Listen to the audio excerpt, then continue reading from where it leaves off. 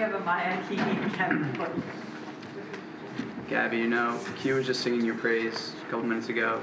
You know, when your uh, when your shot's not falling, about how you make an impact in the game in so many other ways. You led the team in rebounds tonight. You know, how important is is it to make an imprint in any way you can?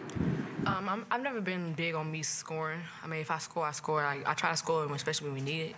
But like, if I don't score, that that's not like my main focus. Like, I try to do all the intangibles, all the things that don't always get you know uh, counted on the stat sheet. Like, I try to get deflections, I try to get tips, I try to do the little things. So I mean, when it's working in my favor and it was working today, I was getting tips and rebounds and stuff like that. Like, that's what makes me happy. So. I was happy to say I had 10 rebounds. I was happy for the 10, more happy for the 10 rebounds than the 10 points. So. Out of any of those rebounds, any of them stick out to you? Yeah, the one where they had a wide open, um, they had like some type of fast break, and the girl pulled up for three, and like I was just running, and I just ran to it. Because the girl was running about, about next to me, and I was just determined not to let her get the ball. So if somebody else got it, it might have been okay, somebody on our team, but she couldn't get it, so.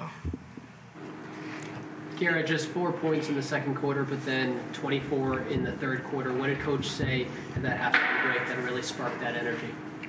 Uh, that we needed to make shots and um, you know play with confidence and look at the basket when you get the ball. Um, and I think once once we came out of halftime, we we slowed down a little bit. Um, and you know we started making more shots and getting the ball inside and you know getting steals and easy finishes. Any changes from you personally that from the first half to the second half that you did to try to get the game rolling a little more? Um, I mean, not really, but uh, they were they were switching on pick and rolls. So um, Coach Q kind of made an adjustment with that, and who set the uh, ball screen for me. And I mean, I just did what I normally do. Um, I didn't really make an adjustment. It's 35-34 Clemson, and they're you know smelling comeback and upset. And you just kind of blink, and it's an 18 to four run. What was the what was the key to the swing there? What was the mood of the team? Did somebody say something, or you just like flip the switch? Um, well, when we were able to get into our pressure defense, um, that caused a lot of turnovers. So that means we had to make shots, and that's what we did. Um, coming out of halftime, um, we went in a little drought in the second quarter, but when we came out in third quarter, uh, we made shots and we was able to pressure them and turn the ball over, uh, make them turn the ball over.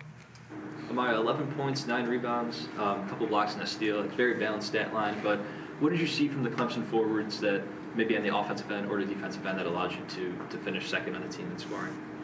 Um, I just knew that their posts are very um, aggressive, one, and like very athletic. So just to kind of match their energy in that sense.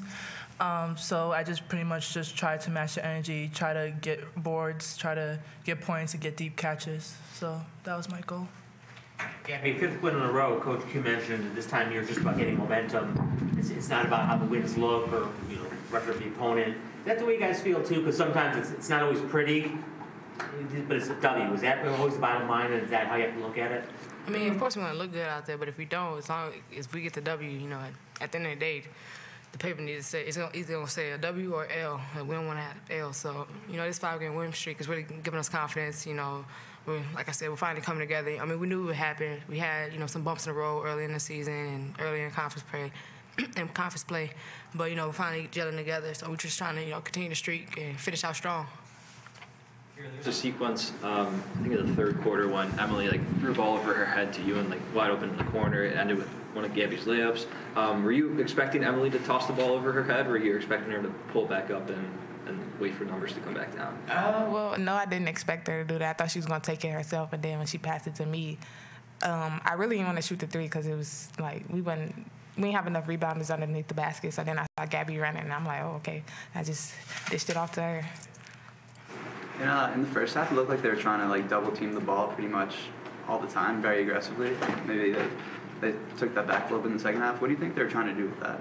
Um, just try to get the ball out of my hands, and um, you know, uh, our offense um, is all ball screens, and I mean, they were trying to trap it just so I can get a ball up or you know turn the ball over, and um, I had to kind of make an adjustment with that, and you know, I, when I seen it coming, I had to keep my dribble and stay composed. One more question? No more? Great. great. Thank you.